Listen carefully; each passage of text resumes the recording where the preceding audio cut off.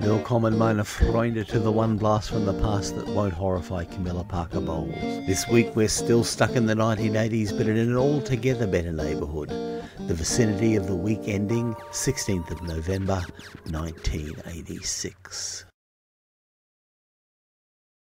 Spinning in at number 10, it's a really important record because it, along with the Beastie Boys, whose debut single was released here in March 1987, it's the record that broke hip hop away from being a novelty music. Run DMC's team up with Aerosmith on Walk This Way. Regardless of how you feel about hip hop or Aerosmith, it's a record that instantly gets the attention and illustrates that hip hop devolved from what most people's preferred design of it was instead of the other way around. Note to all, I know that evolution doesn't work that way, but music arrives via a process of decidedly unnatural selection. At number 9, the good stuff continues. The planet Venus is the hottest planet, and a few weeks back, Venus by Bananarama was the hottest thing on the top 40, climbing to number 1 in the rare case of an original and a cover version both making the top, Shocking Blue's version having held sway back in 1970. These charming lasses, who were basically where Stock Aitken and Waterman honed their craft before Kylie and Rick Astley came along, managed 12 top 40 hits in my old hometown, and this was the best of them.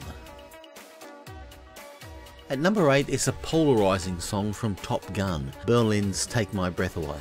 There are basically two kinds of people in the world, them that like Danger Zone and them that like Take My Breath Away. Both singles made number one, so it would seem there was little to divide the two in the public affections. 7 sees the inevitable crash with Chris de Burgh's It's a Joke record in The Lady in Red. Suffice to say, it was just about the wet noodliest entry in the entire disreputable history of Wuss Rock. It sold a gazillion, and you couldn't avoid it on the radio, except perhaps on the local communist anarcho syndicalist station 4 Z. Thankfully, Billy Joel is there at 6 to pick up an electric guitar and momentarily shed the impeccable sheen of craftsmanship over his songwriting with the tough sounding, tough talking A Matter of Trust. I'm not ordinarily a fan of Billy Joel, but I do like the Bridge album from which this single is taken. Not as prolific a hitmaker as one might think, Joel only breached the top 40 15 times, but this is one of his superior examples. They say you can have your own story, but you can't have your own facts. Rubbish. Here are the facts that are just for you in Foul's fantastic world of facts. The biggest climber this week, up 17 places to 39, is a song I'd never heard of, or if I had, I don't remember it. Two of Hearts by Stacey Q. Um, now that I have heard it, I wish I could forget it. It made number 7, which along with her other hit from 1987, another number 7 hit in We Connect, represented the entirety of her corpus operis. The biggest dropper this week are the band that trouble me deeply, Midnight Oil. If you can somehow block out the lefty loonies bleating of borderline moron Peter Garrett, then Midnight Oil are a tough, minimalist and driving rock and roll band. They do put on a good show, it must be said as well, when they aren't barking from the bully pulpit at their audience. This week's highest debutante was You Can Leave Your Hat On by Joe Cocker the second step on a late career revival, first being the lachrymose lament Don't You Love Me Anymore, that saw the beloved old croaker regain his legacy. I always thought Civilized Man should have been a hit too. Oh well. And the longest running song on the charts was one time number two, Lionel Richie's notorious Dancing on the Ceiling, which, had it made number one, would surely have been the worst number one hit ever. Brick House, This Ain't. The number one hit in the USA was Amanda by Boston, which putted out at 25 over here. Nice video though. In the jolly old UK, the Brits spoke loudly as to which side of the danger zone take my breath away divide they stood, the latter in the midst of a four week stand at number one. Back home, number one album with the Groover and Boppers was Graceland by Paul Simon, but next week it would yield to the phenomenon that was John Farnham's Whispering Jack, which is still the biggest selling album by an Australian artist and was utterly unavoidable at the end of 1986 and most of 1987. We could go straight to number one here, but in the Righteous Bojambo organisation, we follow the rules of ordinal numbers. So number five it is, and it's the utterly brilliant Madonna in what was perhaps her first not so utterly brilliant moment. True Blue just seemed like a drop off after her magical run of singles had been extended by the first two singles from the True Blue album, Papa Don't Preach and Open Your Heart, just as the True Blue album, full of what could be called unsuccessful experiments or could equally be called filler, was a drop off from her first two albums. True Blue, the song, is Motownish pop. Michael Jackson's later The Way You Make Me Feel sounds unnervingly but not litigiously similar to it, but it just seems fey next to the dance pop tsunami she'd unleashed. To give you some idea of Madonna's dominance, of the first 30 singles she released in Australia, only two failed to make the top 40.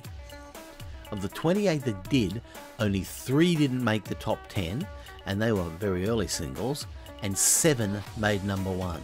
Compare that to Michael Jackson's first 30 singles. It's seven that didn't make the top 40, nine that made the top 10 and four number ones, and Prince, 10 didn't make the top 40, 8 made the top 10, and only one made number one. Bruce Springsteen, well, he only released 20 singles, of which 9 failed to make the top 40, 8 failed to make the top 10, and they all failed to make number one. Madonna ruled the 1980s. Number 4, Paul Simon with his lead single from Graceland, You Can Call Me Al, dropped down from its previous week high of number 2. A perennial denizen of the nether regions of the top 40, Simon hit the charts often enough, but much like Australian opening batsman Graham Wood, he seemed to struggle to get out of the 30s, and none of the three other singles from Gracelands even so much as troubled the top 40. Number 3 is Stuck on You by Huey Lewis and Elvis Costello's one time backing group, The News, a band so bland and pointless they were featured in Bret Easton Ellis's American Psycho as the kind of band that titular psycho Patrick Bateman rhapsodizes over so that he appears as normal. Stuck on You just doesn't seem to have any great point to it, it's just unprepossessing music for the kind of people who want to have the right music playing and the reassurance that no one will notice what it is.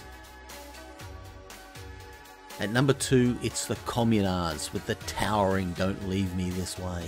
Don't care much for the group name, but by gosh, this is a great record.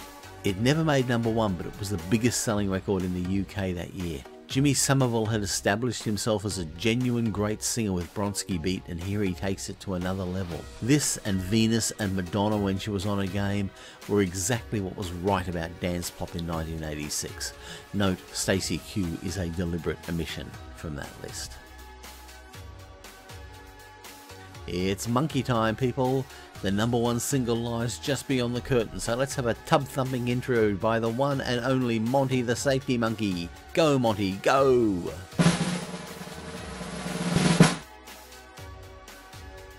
Number one this week is John Farnham with his invincible, indestructible You're the Voice. Seven weeks atop the chart, only dropping down in the last week of the year to the mighty Pseudo Echo, who then spent seven weeks at number one with Funky Town, meaning Australian acts spent three and a half consecutive months at number one. Has that ever happened before? I'll ask about it. You're the Voice is a much contested song, taken up as it has been by anti Islamic groups, much to Farnham's chagrin. There's nothing quintessentially Australian about it beyond perhaps Farnham's epic mullet, but these groups don't really seem like deep thinkers to me.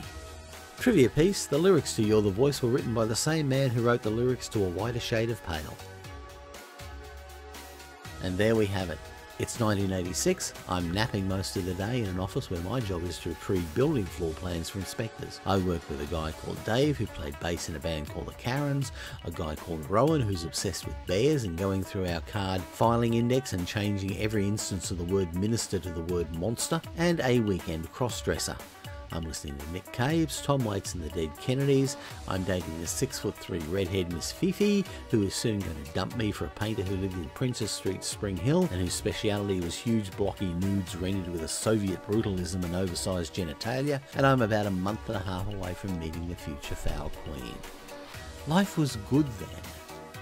Life is good now. Life will also be good the next time we meet in that foreign country of the past. Stay well until then.